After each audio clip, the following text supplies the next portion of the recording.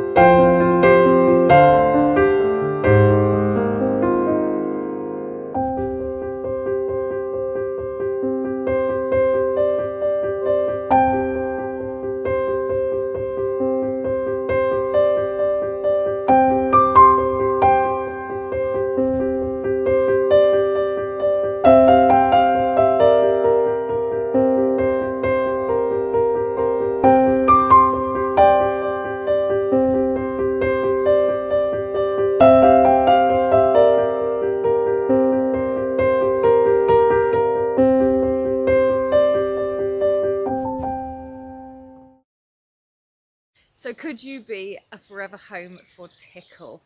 Uh, please remember that I have nothing to do with the adoption process. I'm just here to shout about them and get them seen on social media. Please contact Paws and Claws if you'd like to be considered for his adoptive family. And I will leave their information in the description of this video and I write on this title card at the end of this video. So please like and subscribe. There will be more featured fosters coming. Um, unfortunately, there are so many dogs still looking for their forever homes.